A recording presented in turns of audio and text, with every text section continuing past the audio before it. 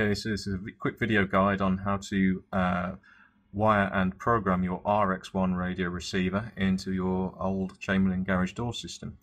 Uh, Chamberlain door system you might have might be branded as Motorlift or Liftmaster, uh, but essentially they are uh, by principle all the same in the way that they are laid out on the reverse of the motor. You should have three numbered terminals, numbered 1, 2 and 3, and the four styles just beneath those.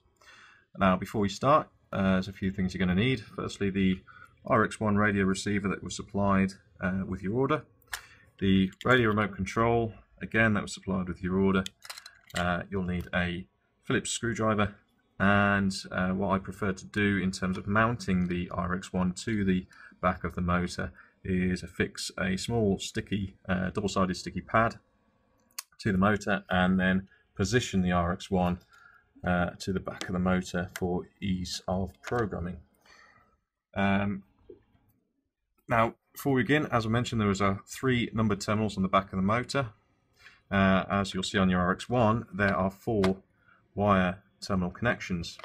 Uh, two for your positive and negative, which are black and red, and two for your uh, your relay outputs, which are blue and yellow. Uh, now, obviously, two of these connections are going to have to go into one of these contacts on the back there. So we'll start from left to right with terminal 1. Uh, with that, we'll wire in the yellow contact from our relay output.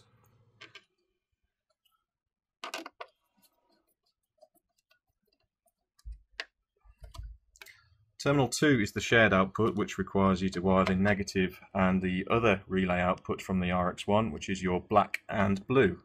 So your black and blue will wire into terminal number 2.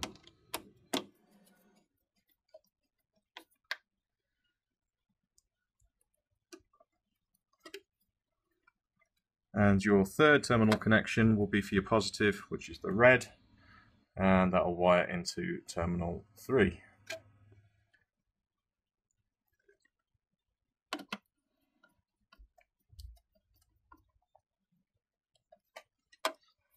Before proceeding, I would make sure that all of these contacts are tight because this these old motors can vibrate quite a lot, so we don't want the uh, connections to come loose. So next stage, that should be all powered and live, and uh, the RX1 should be ready to program. Now, the RX1s out of the factory, they are already pre-coded with their own uh, factory code. So what we're going to have to do is clear the memory on this first. So we can do this by using the little programming button at the bottom right hand corner of the RX1, which is labelled P1.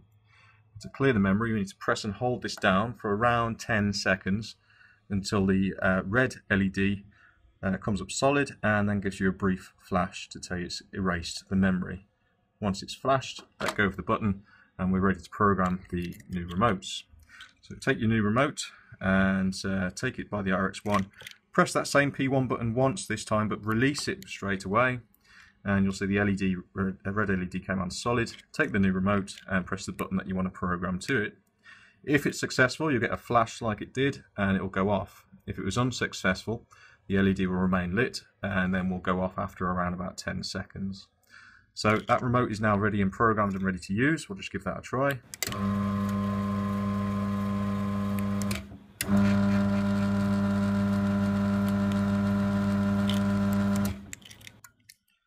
And we're good to go and program the next one.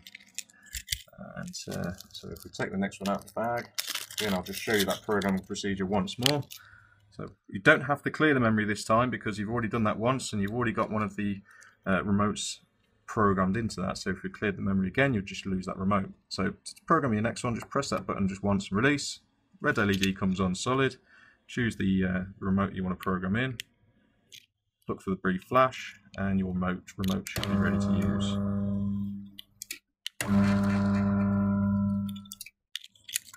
And that's it. For more details, please visit our manuals website, which is manuals.easygates.co.uk, or give us a call on 01384 569 942. Thanks very much.